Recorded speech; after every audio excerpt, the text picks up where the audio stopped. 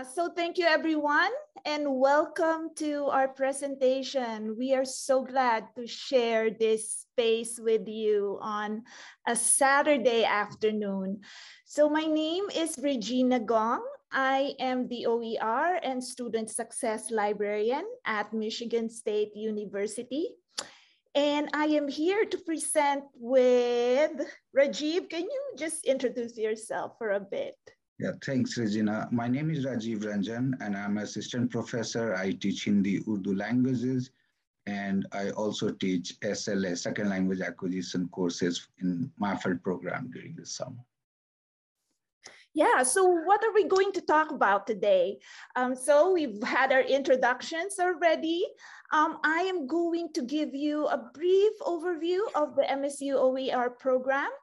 And then I'll hand it over to um, Rajiv to talk about our collaboration with the OER in Hindi, Urdu, and Khmer. And um, we'll have uh, about five minutes for mm-hmm. um, question and answer um, for our presentation. So uh, the, the, the MSU Libraries OER program is on its third year, and I am a full-time librarian leading the program.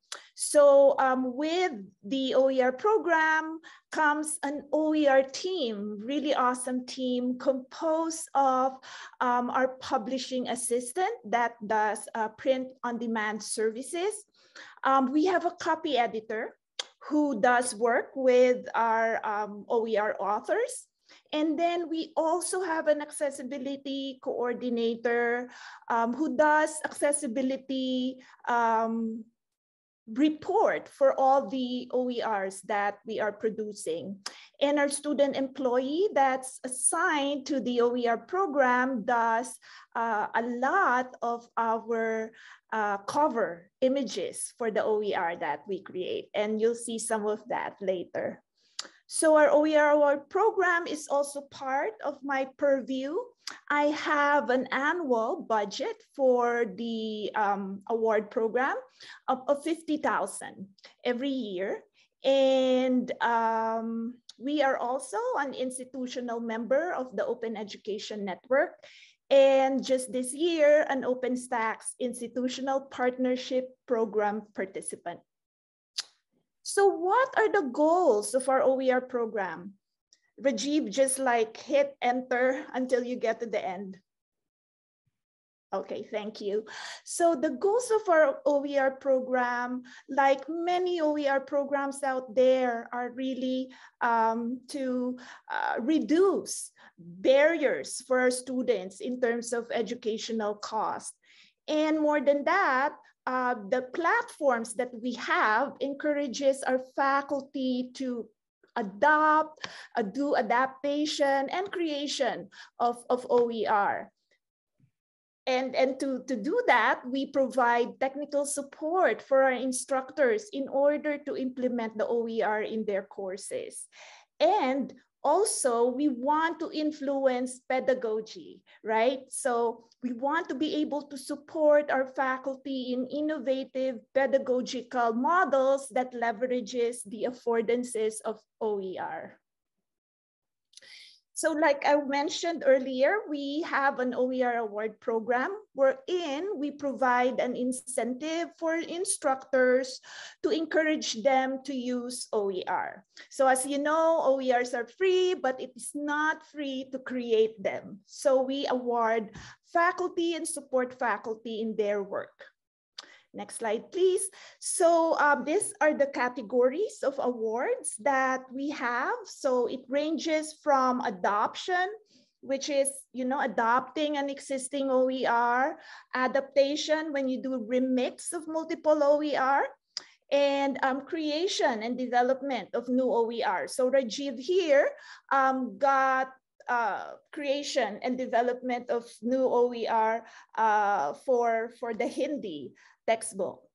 And of course, we also have continuous improvement. So continuous improvement are for those OER that um, faculty want to improve upon, either to create new content or create uh, interactive exercises, more interactive exercises. And the scaling up of OER are those um, courses that will scale up across multiple sections of the course. And this is uh, the URL for the open textbook publishing site that we have. So we have Pressbooks as our authoring platform. And you can go to that site if you want to check it out. Next slide, please. And this is our latest titles. So, so far we have 10 titles here. Uh, and we have more titles that are um, slated for release this spring. And these are the services we offer. And these are the things that I work with faculty in order to support them. So as a librarian, I help them find and discover, curate appropriate OER that they are going to use for their course. Um, we provide a technology platform so that they can create the OER via textbooks. So like I mentioned, we have copy editing, we have accessibility evaluation. We provide a lot of professional development opportunities, both on campus and online, um, training for faculty, um, and also networking. And professional development through, uh, through presentations in national conferences. So now I will turn you over to Rajiv to talk about his projects. Thank you, Regina. So uh, hello, everyone. As you know, what Regina just explained, without her and her support, I would not be here. So thanks to her and the OER MSU library, who supports the instructor like me and teachers like me. And with her help and support, I have published the basic Hindi one last year. And we are, I'm working, uh, basic Urdu one is in the copy editing and basic Khmer, which is done by Vatanak Sok. So after being trained by Regina and our library colleagues, uh, I and here Daniel Steider, who is our little uh, coordinator and supervisor for less commonly taught languages, we also advise and help our other LCTL instructor like Vatanak Sok. So we are on the board as a team. So me, Daniel, Vatanak, and the Regina and her team from the OER side, we put things together to create this valuable material. So when I got this OER award, I was new, like in the morning, I was hearing the session, how do you use H5P? Or how do you what platform do you use? How do you create? How much challenges it is to put the H5P and all those things? I was new uh, two years ago and I watched tons of YouTube videos and attended tons of uh, training program by our librarian and led by Regina. So I learned a lot, but then the support is there, technology is there, but then as instructor, as somebody who's creating the content, I had to decide what are the consideration I'm going to do in my book. So the first question, as in again in the morning session, my colleagues, those who are representing less commonly taught languages, I want to add my voice to their concern that less commonly taught languages do not have uh, kind of trained teachers. If you speak the language, they are hired. They're also hired on a fixed term basis or not on a tenure basis. So they are just come here, teach, and and go walk your dog. So they do not have even incentive to kind of do something uh, forward looking. So what I thought maybe uh, this would help me. And I know this is like the tenure and promotion. I'm not on a tenure track again, but this actually gave me a lots of kind of pedagogical and um, educational and professional capital in the field. So I would say that even if it is not going to help us non-tenure track people, but it does put us out in the in the more open area and more collaborative sense. So the first thing I wanted to do, because the Hindi books are traditional, but this is the, the pedagogy has been modernized. What should I do? Should I shake the world of my Hindi or South Asian language world, or should I make a cer certain balance? So that was something. Can I, and then the pandemic hits. As soon as I got the, the, the OER award, then I had to think about the people are talking about social interaction, can textbook itself interact with the audience? So can it be used by a standalone audience who does not have access to the language instructor? Who are my readers? Is this for LCTL instructors and teachers? Is this for heritage students or non-heritage students? What should be my proficiency goal? And I come from a second language acquisition background, my PhD in SLA, generative approach of SLA from University of Iowa. So I could not just brush off my SLA mind and I'm thinking what should be my theoretical framework and pedagogical approaches and teaching techniques. And then if the H5P is available, can we gamify a little bit? So I thought mixed method would be a good idea. So this book, or not just this book, which is the example of Hindi that you see, but Urdu and Khmer and incoming book that also, um, and I just thanks to Regina, that I also got the Persian with the Persian instructor. We are co-author of a Persian textbook. All these books have eight chapters. The first chapter is on a script because, you know, like either you're talking about Persian, Hindi, or Urdu, or Khmer, they're non-Roman languages, non-Roman scripts. So it takes lots of time. And then the chapter two to eight has a similar structure. It starts with the title and it announces the goals of the chapter, like can do sort of statement. Then it reviews the previous chapter. Then there are two or three reading. Then every chapter has a study abroad section. So somebody who's preparing for the study abroad kind of imagine conversation and situation. And it has a grammar points. And I'll tell you why I included that. And it ends with the cultural notes and extra optional online material. Very quickly, not much to kind of dig in about the SLA thing, but the socioculturalist and interactionism combines together. So the idea was to create something, the interactive or the conversational uh, material, which also has lots of socio and cultural information built in. So thematic wise, wise conversation, and then uh, before the reading or listening. So each reading is also audio recorded, has a closed CC, uh, closed caption for somebody who is has the accessibility issues, and then it has a pre-reading and post-reading and during reading activities defined. So the theoretical approach is socio, uh, social interactionist theory. So if you see this example that I kind of uh, screenshot this, so you can see that there is a conversation one by one, and then the right side, you'll see that the, the H5P material, which you have the prompt and you can drag the correct response to that. So this is also like a helping uh, kind of a step by step, and I'll talk about the pedagogical approaches. So when I'm thinking about the pedagogical approaches, you know, the Kagan and Dillon, they talk about micro and macro approach. And when I'm trying to put it in my classroom, and typically my classroom has 80% or 70% heritage and 30% non-heritage. So I cannot just avoid non-heritage or avoid heritage. So, and that's true for all less commonly taught languages in my point of view. So what I wanted to create is something mixed. So when you are thinking about the heritage or HLL, the macro would work better, which looks at the top down. So you give the authentic material and they track it, induce it to the certain level. And when you're talking about the non-heritage, it bottoms up, so deduce it. So that's sort of the, the methodology or pedagogical approaches that I was thinking when I was writing that book. So you saw in a previous picture when I wrote, I, I gave you the example of the conversation, that's micro. But these kind of activity or these kind of reading is macro, which is like give the authentic material or the essay sort of thing and you can see this highlighted point or underlined words in Hindi and even in Urdu. These are the words that you can click and the glossary. So the vocabulary acquisition is also put together in that way. So there's a list of vocabulary, but also glossing while reading. So either the, if I'm a kind of a person who loves to learn in an inductive way or deductive way, it, it just try, I try to create something that fits lots of different style of learning approaches and, and, and pedagogical approaches that uh, LCTL teachers could have.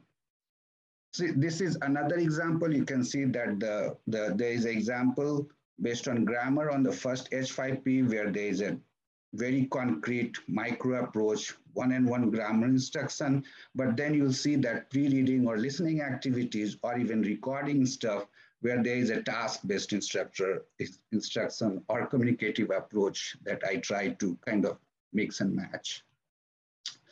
Now, teaching technique, I, I touched upon that a little bit, deductive and inductive or implicit or explicit.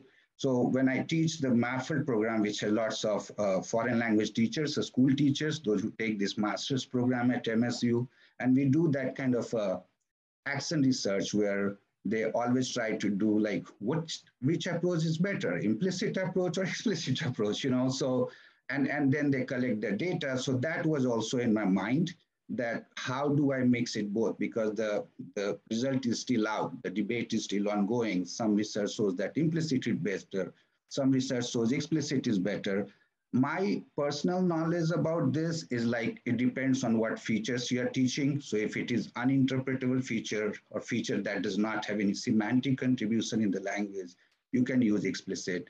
But if there is a semantic value of certain features in the language, implicit could work. So I'm, I'm, I'm not one or the other side. I'm still, I, I love all approaches and all pedagogical approaches. So that informed my kind of how do I frame this so you'll see that chapter six and chapter eight, I gave you the example.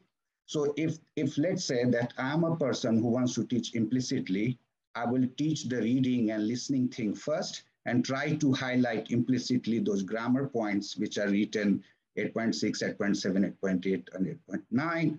But if I'm a teacher who wants to kind of teach explicitly or deductively, then I'll teach the grammar first and then the reading and listening would be the more input to kind of strengthen those grammatical points or to reach the like the, in the beginning of the chapter where there's can do statement or goals that can be reached. Gamification, so there are lots of like, I, again, I voice again with the LCTL instructor that there's not much.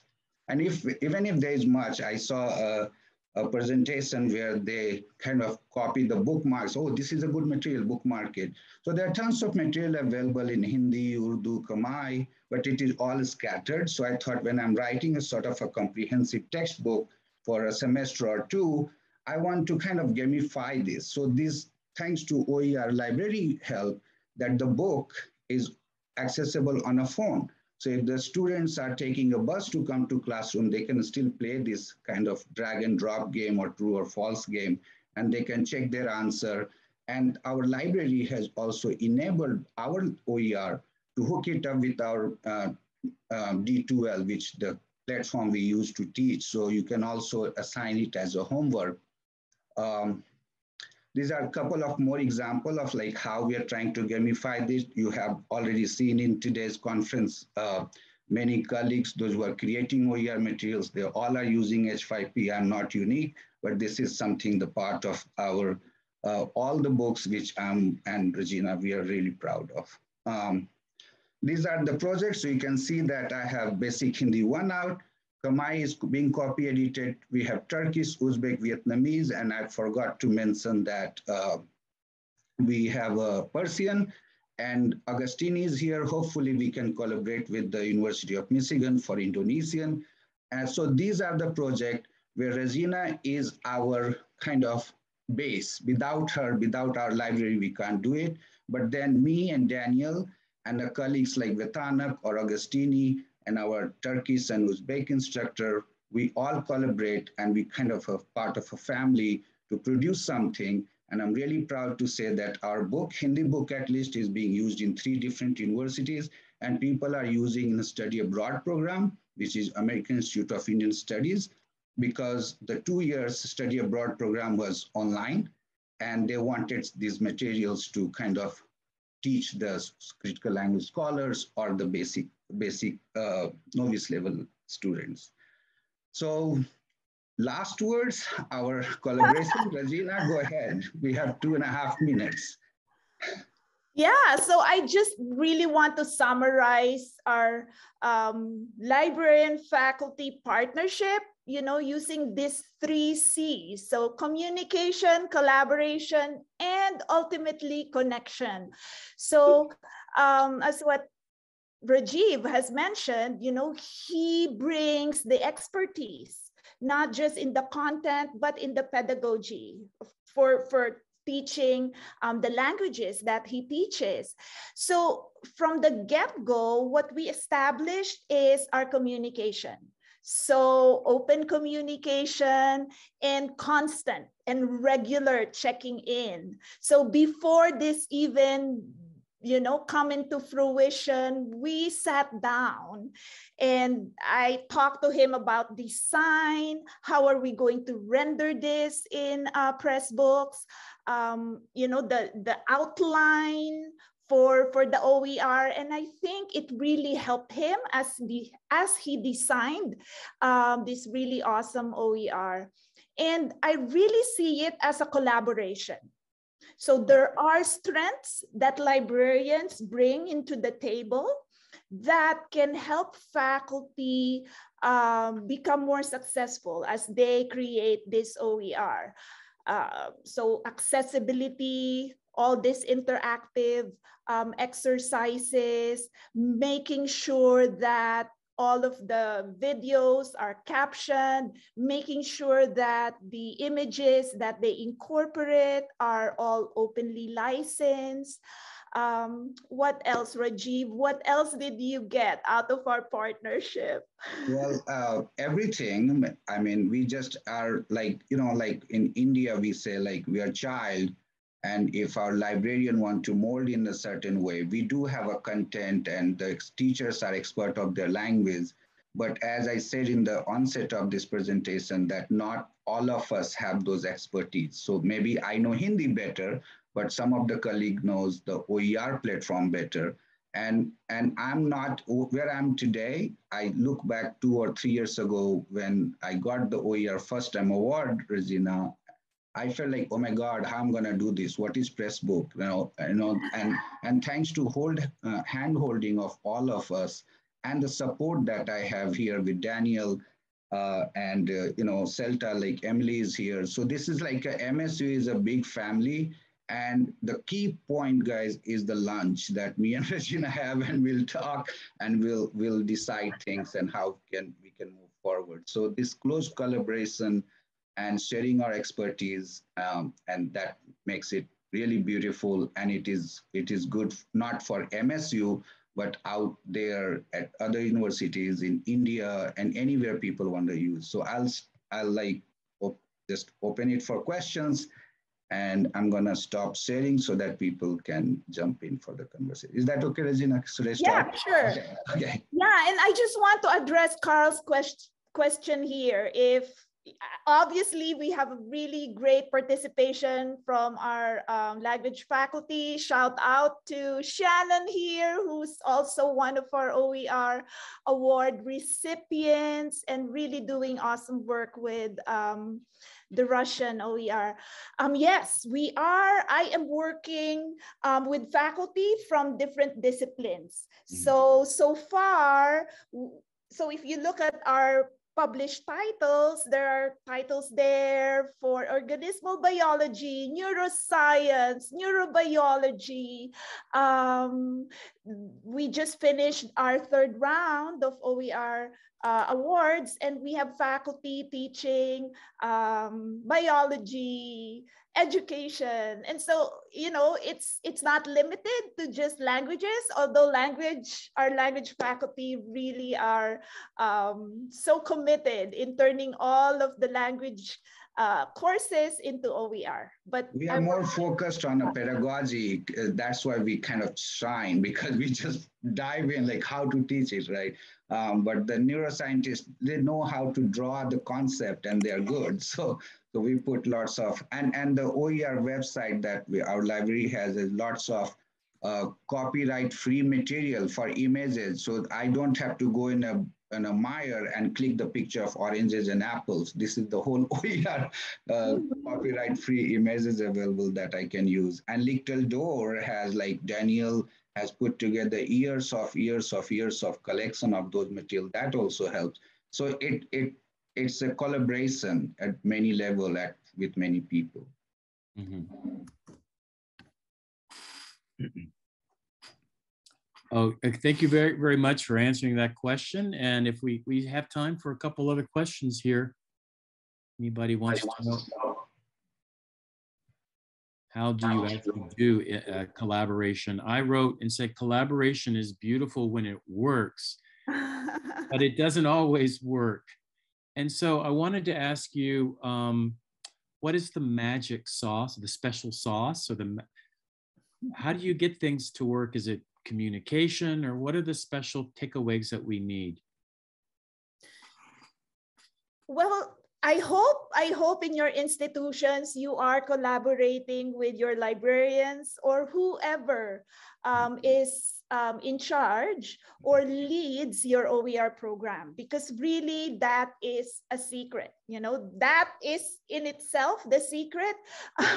you know if you um, harness that expertise that that librarian can offer mm-hmm. and also the expertise that of course the faculty oer um, creator can can have mm-hmm. so um, i there's there's a lot of times when i connect the faculty from uh, an external institution with a librarian from their institution because they just don't know mm-hmm. right and um, it, it really it really is helpful for you mm-hmm. to reach out to to them uh, because they have uh, a lot of times the OER program resides in libraries and so you know there they'll be really uh, the really the people who, who right. can support you in your projects. Well, I, um, thank you for saying that because I say that often, but it's good to hear other people join, and especially coming from a librarian.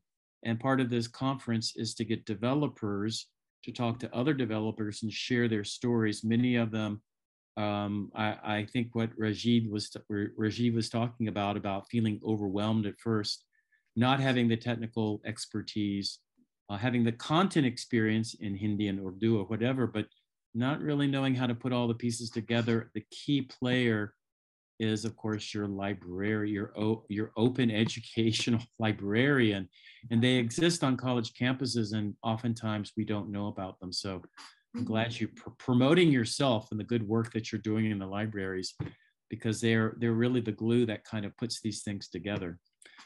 Um,